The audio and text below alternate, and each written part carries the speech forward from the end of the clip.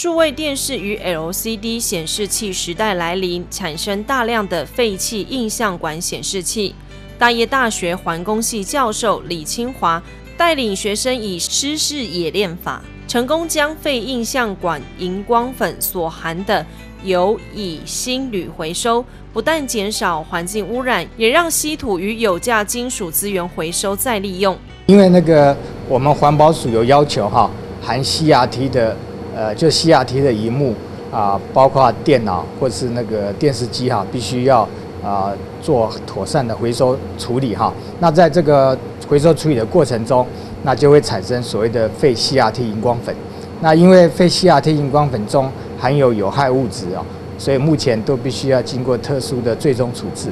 哦，那不过很可惜的就是，呃，经过最终处置后哈，那废 CRT 中的有价稀土、有根乙。金属哈就没有办法被回收再使用，啊，那为了要避免这个有价稀土的有根乙哈啊无法被使用啊，所以我们实验室啊就特别针对这个废 CRT 荧光粉进行有乙的回收研究。那它这个价值？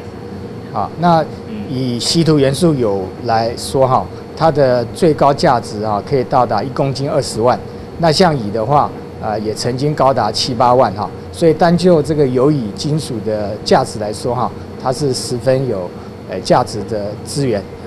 那另外就是说，如果我们可以把它回收再使用的话，那对这个天然的有乙啊稀土元素啊的开采哈，呃也会减轻它对环境的冲击。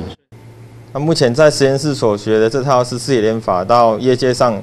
所使用的湿式冶炼法，其实都是一一样的一样的实验方法。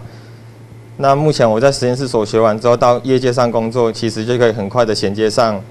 业界的回收方式。对，这个动作就是要让我们的有价产品跟那个我们刚刚的一起去做一个分离，然后把有价产品拿出来，这样。所以这就是所谓的湿湿式分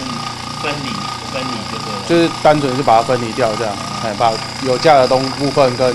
没有那个被不要的部分拿起来，这样。李清华教授指出，印象馆含有重金属，回收处理后会衍生大量的废荧光粉。目前世界各国都以固化掩埋来处理，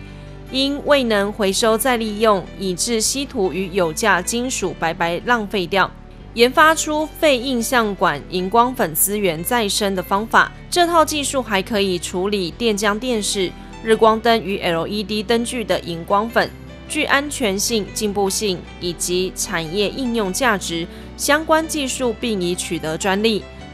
公益频道张华允、大春采访报道。